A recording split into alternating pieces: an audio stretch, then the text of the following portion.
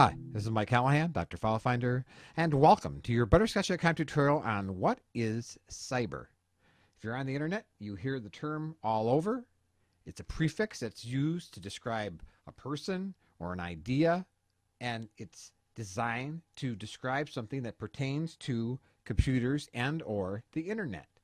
Comes from a Greek word that means steersman.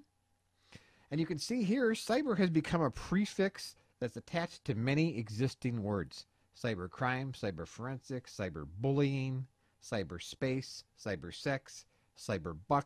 So the term cyber has essentially become a prefix that's used to describe something that pertains to your computer or the internet or publishing.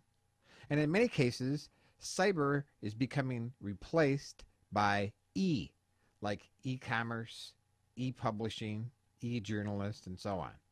So that's cyber, and that's all there is to it.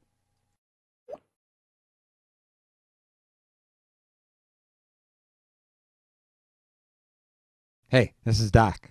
If you're looking for a cheap and easy way to put your own content on the web, go get domain names from hover.com. Just visit hover.com slash butterscotch and you'll get 10% off and support shows like these. Thanks.